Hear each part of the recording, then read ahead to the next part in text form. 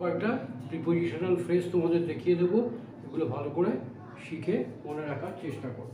প্রথমে যেটা দিয়ে শুরু করব, সেটা হচ্ছে ইনচার্জ অফ ইনচার্জ অফ মানে দায়িত্বে, কোনো কিছু দায়িত্বে থাকা ইন চার্জ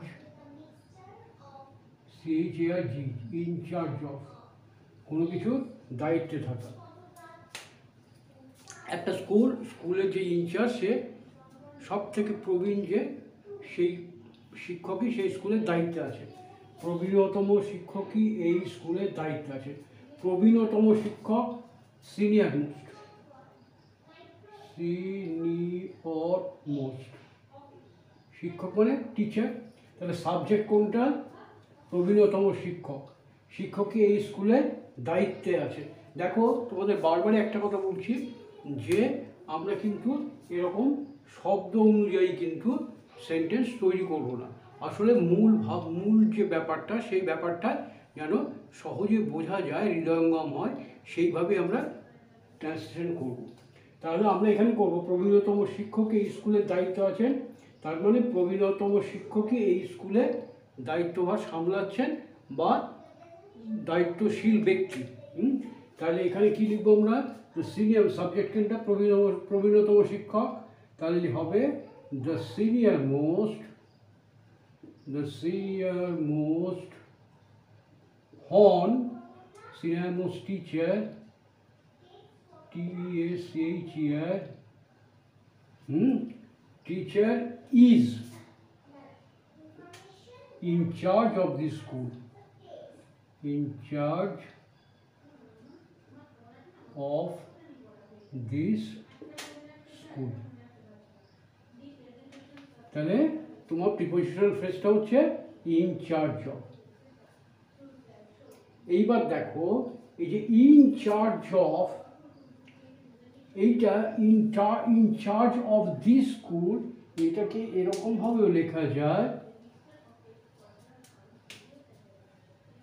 এই যে ইনচার্জ অফ দি স্কুল এটা না করে এটাকে এইভাবেও লেখা যায়। সেখানে কি একটা হাইফেন আসে, যেমন the senior most teacher is the in charge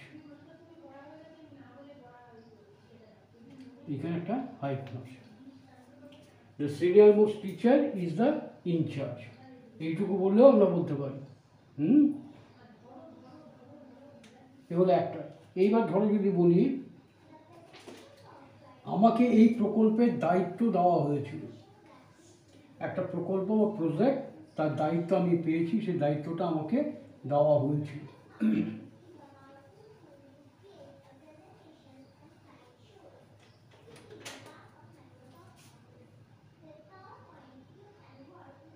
আমাকে এই স্কুলের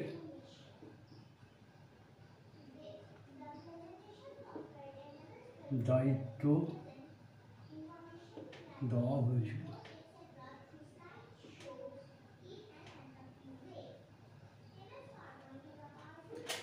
দায়িত্ব দেওয়া হয়েছিল was given the charge of the school এরকম বলব না। হ্যাঁ? এটাকে প্যাসিভে করলে I was given the charge of the school এরকম আমরা লিখব না। আমি কীরকম আমরা কীরকমভাবে লিখব? যে আমি আমাকে স্কুলে দায়িত্বে রাখা হয়েছিল, অথবা দায়িত্বশীল করা হয়েছিল, সেরকম বলতে আমরা কী বলব? I was made I was made the in charge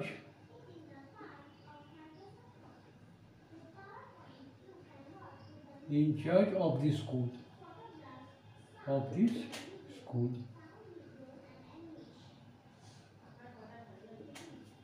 এখানে দেখো, তারা আমাকে স্কুলের দায়িত্ব ছিল এরকম, কিন্তু কোথাও লিখিনি আমাদের বলে কিন্তু আমরা এরকমভাবে বলতে পারি they made me the in charge এটা আমরা কী করতে পারি? They made me the in charge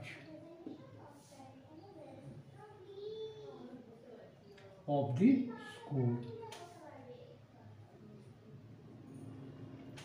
এইবার দেখো, এই যে, এই এই কথার ব্যবহারটা, যেমন এই স্কুলের গেম সেক্রেটারি দায়িত্বে থাকা, দায়িত্বে কে আছে? এই স্কুলে গেমস গেম খেলাধুলার দায়িত্বে কে আছে? যদি এরকম বলি, এই স্কুলে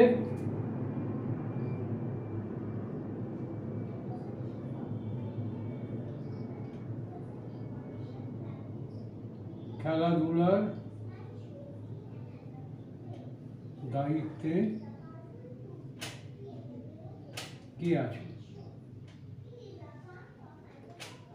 কে আছেন মানে? দায়িত্ববান ব্যক্তিটি কে?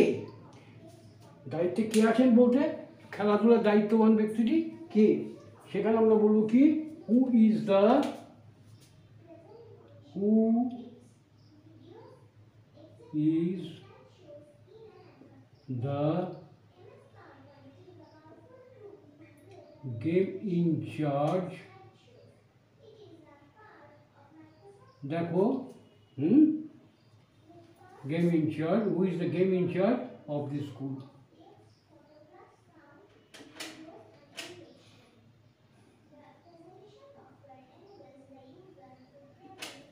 বুঝা গেল? তাহলে সেরকম এখানে স্কুলের কথা স্কুলের কথা না বলে যদি বলি, এই অফিসের দায়িত্বে কে আছে? এই যে স্কুলের খেলাধুলার দায়িত্বে কে আছে? এর জায়গায় যদি হয় এরকম যে এই অফিসের দায়িত্বে কে আছেন?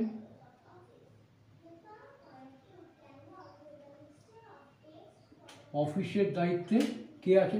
আমি একটা অফিসে গেছি, সেই অফিসের দায়িত্বটা যা তার সঙ্গে আমার কিছু কথা বলার দরকার, আমার কোনো কোনো সমস্যা আছে বা কোনো কিছু চাই, কোনো কিছু করতে হবে, সেটা সে দায়িত্বশীল ব্যক্তির সঙ্গে কথা বলব, তো গিয়ে জিজ্ঞাসা করলাম, এই অফিসের দায়িত্বে কে আছে? সেখানে কী হবে? হু ইজ দ্য এই গেমের জায়গায় তখন কী হবে? অফিস ইনচার্জ অফিস সেখানে কি করব? দেখো who is the office in charge এইটা বাদ চলে যাবে। এটা থাকবে না, এখানে একটা হাইফেন আসবে। Who is the office in charge অথবা who is the in charge of this office সেখানে কি হবে? আরেকটা কি হতে পারে? হু ইজ দ্য আমরা করতে পারি who is the in charge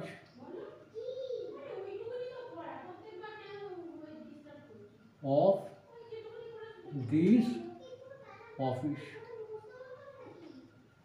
এই একটা করতে পারি। বোঝা গেল? এইবার ধরো, বলতে পারি আরেকটা, দেখো। এইবার এই যে ইনচার্জ যখন বলতাম, বললাম এই সময় আরেকটা জিনিস শিখে নাও টেক ওভার টেক ওভার মানে হাতে নেওয়া টেক ওভার হাতে নেওয়া হুম? আমি এই অফিসের দায়িত্ব নিয়েছি। আমি এই অফিসের দায়িত্ব নিয়েছি। তাহলে কী হবে? নিয়েছি। এটা পাস্ট টেন্স তুমি এটা এছি, এছো, এছে থাকলে পরে পারফেক্ট টেন্স করা হয়। কিন্তু আমি দায়িত্ব নিয়েছি বলতে একটা নির্দিষ্ট সময়ের দিকে যদি খেয়াল করে বলি, অতীতের দিকে বা সময় যদি বলে বলে দেই যে গত মাসে, তাহলে তখন সেটা কী হবে? পাস ইনডেফিনাইট হবে। হ্যাঁ? তাহলে I have taken over the charge এটা কী হতে পারে? আমি অফিস বলে যে কোনো জায়গা হতে পারে না অফিস বলেই বলছি অফিসের চার্জ নিতে পারি স্কুলের দায়িত্ব নিতে পারি, খেলাধুলার দায়িত্ব দায়িত্ব নিতে পারি, কোনো কিছু ডেভেলপমেন্টের দায়িত্ব নিতে পারি, হুম? তাহলে আমি যদি বলি, আমি এই অফিসের দায়িত্ব নিয়েছে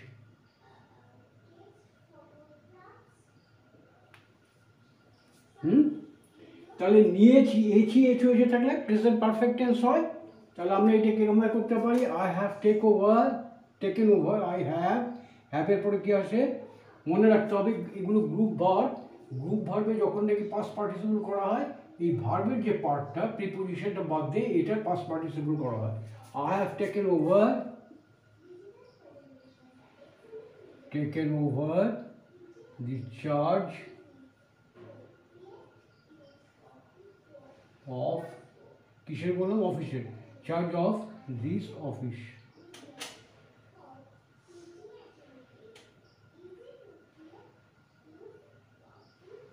ঠিক আছে? এইবার দেখো, যদি বলি আমরা যে আমি গত মাসে, আমি গত মাসেই অফিসের চার্জ নিয়েছি। আমি গত মাসে এই অফিসে চার্জ নিয়েছি। আই এক I have taken over the charge তাহলে আই হ্যাভ টেকেন ওভার হবে না, গত মাস উল্লেখ করে দিয়েছি। তাহলে সেখানে কি হবে? সেখানে টেকেন ওভার হবে জায়গা হবে। কি হবে? সেখানে হবে took over took over took over the charge of this office last month.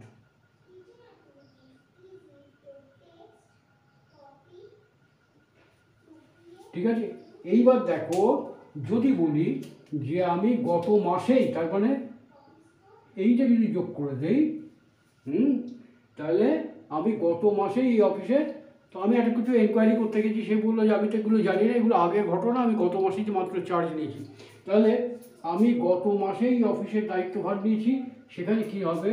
I took over the charge of this office only in the last month বোঝা গেল? এবার একটা দেখা যাক। ইন কম্পারিজন উইথ তুলনা। একটার সঙ্গে যদি একটা তুলনা করি, তাহলে সেখানে বলা হয় ইন কম্পারিজন উইথ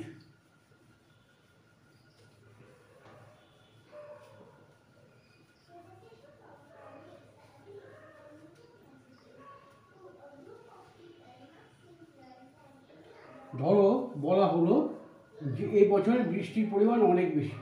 এর আগের বছরগুলোতে যা বৃষ্টি হয়েছিল, সেই বছর, তার তুলনায় এই বছরের বৃষ্টি অনেক বেশি হয়েছে। তাহলে আমাদের এটা হচ্ছে ফ্রেজটা হচ্ছে তুলনায় in comparison with in comparison with তুলনায়।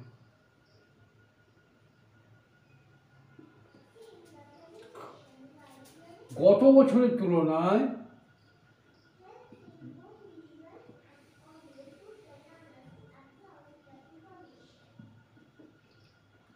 তুলনায় এই বছর এই বছরে অনেক বেশি বৃষ্টি হয়েছে। বৃষ্টি হয়েছে। এখানেও দেখো এছি এচো বলে আছে। তাহলে এটাকে আমরা প্রেজেন্ট পারফেক্টে করতে পারি।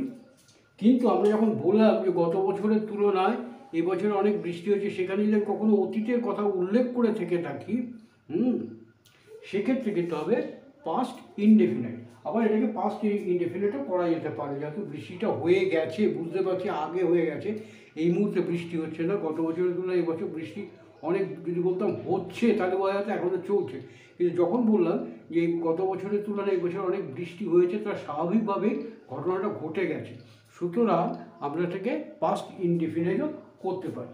তাহলে যদি এটাকে এচি এচও ধরে নিয়ে করি, তাহলে বলব it has rained it has rained rained